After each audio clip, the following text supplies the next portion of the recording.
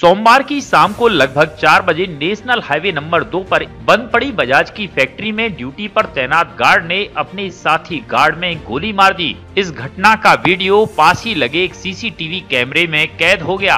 गंभीर रूप से घायल सुरक्षा गार्ड सुंदर सिंह ने बताया कि रामकिशन पहलवान और वो कोशिकला कंपनी के काम से शीशा लेने के लिए गए थे जैसे ही वे दोनों वापस आए और वो कंपनी के अंदर शीशा रखने के लिए चला गया, तभी कहीं से उनका दूसरा साथी देवेंद्र आया और गाली गलौज करने लगा, जो कि नशे में चूर था। उसने पहले अपनी पिस्टल से हवाई फायर किया। उसके बाद उसने अपने ही साथी को गोली मार दी।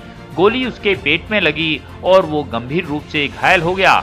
देवेंद्र सुरक्षा कर्मी अभी मात्र पाँच छह महीने से ही ड्यूटी कर रहा था। जबकि रामकिशन पहलवान पिछले छह साल से कंपनी में ड्यूटी कर रहा था।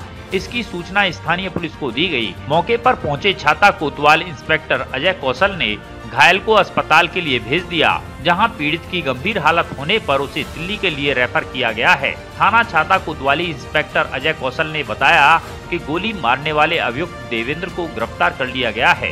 मामले की पूरी जाँच की जा रही है। कंपनी में लगे सीसीटीवी देखे गए जिनमें पूरी घटना कैद हो चुकी है। अच्छा, क्या घटना हुई है? हम पुलिस चौकी पे थे आए ग्वाली चौकी पे थे और एक शीशा लाए हम। तो पहलवान जी ने बाइक खड़ी करी वहाँ में तीन में। मैं आके फ्रिज पे पानी आ पी और इतने में फायर हुई है। अच्छा। उनकी गोली लगी। किसकी गोली लगी है? पहलवान जी ग्राम किशन पहलवान। कहाँ के रहने वाले ये रहने वाले तो राजस्थान के लेकिन कोसी रहते हैं फ़िलहाल। अच्छा जो गोली चलाई है वो कहाँ के रहने वाले हैं गोली चलाई है वो हमारे गनमैन है वो पेंगरी के क्या नाम है उनका? उनको नाम देवेंद्र है। कब से काम कर रहे थे ये? ये बताओ ना कई महीना से कर रहे हो। अच्छा किस बात को लेकर ये गोली बात तो कुछ है ही नहीं दारू पी रखी है दारू पी आसमानी फायर कर रहे हो फिर पहलवान जी मार दिए गोली। कैसी हालत है उनकी? अब हालत उनकी गंभीर ही है। अच्छा कहाँ है? किस हॉस्पिटल में? आप दिल्ली ले गए जी हॉस्पिटल नहीं पता।